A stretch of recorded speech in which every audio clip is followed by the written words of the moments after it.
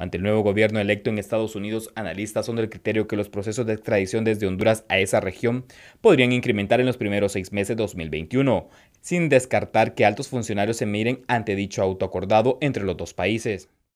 Documentos están listos, las declaraciones están completas, los peritajes, las actividades probatorias se han evacuado completamente y solo está esperando el momento político oportuno para que veamos a muchos dignatarios a los que hoy les quemamos incienso eh, rindiendo cuentas en cortes de Estados Unidos.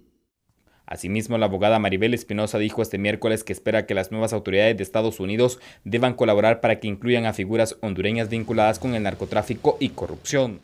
Que se enlisten conforme esa ley Magnitsky a políticos corruptos y se realicen más extradiciones por narcotráfico y corrupción ante la incompetencia y complicidad de instituciones responsables en la persecución y castigo de esos delitos en Honduras.